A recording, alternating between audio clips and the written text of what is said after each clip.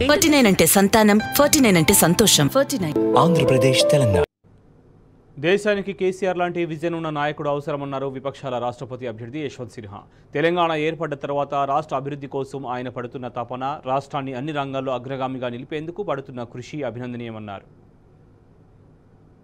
साफ शब्दों में आज कहना चाहता हूं कि आपके आदरणीय हमारे आदरणीय मुख्यमंत्री तेलंगाना के जो हैं इनके साथ मिलकर हम लोग इस लड़ाई को लड़ेंगे पूरे देश में। मैं इनसे फिर मिलूँगा क्योंकि अभी हवाई अड्डे से यहाँ तक आते आते हम लोगों ने कुछ बातें की हैं कुछ और बातें आगे बढ़ानी हैं तो हम इनसे फिर मिलेंगे फिर बात करेंगे कि इस लड़ाई को आगे कैसे बढ़ाया जाए। इस देश को ज़रूरत है केसीआर जैसे नेताओं को। और मैं इसलिए इस, इनकी इज़्ज़त मैं इसलिए इनकी इज़्ज़त नहीं करता हूँ केवल कि इन्होंने इस प्रदेश में चुनाव में भारी बहुमत हासिल किया।